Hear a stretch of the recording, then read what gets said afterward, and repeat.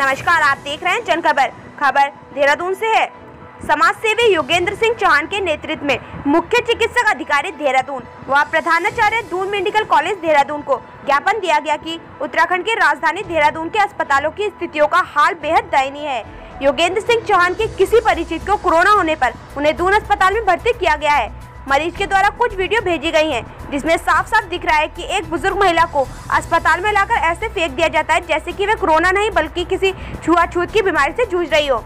बुज़ुर्ग महिला को स्टाफ द्वारा बेड पर लिटाया भी नहीं गया, उन्हें ऐसे ही छोड़ दिया। वीडियो में साफ़ दिख रहा है, महिला ने कपड़ों में ही पेशाब कर रखा है और महिला को सांस लेने में भी परेशानी हो रही है। साथ ही एक वीडियो में मरीजों के लिए जो खाना आया हुआ है, उस खाने में मरा हुआ कीड़ा पड़ा हुआ है। यदि कोई इसकी शिकायत करता है तो अस्पताल के कर्मचारियों का रवैया बहुत ही निंदनीय है।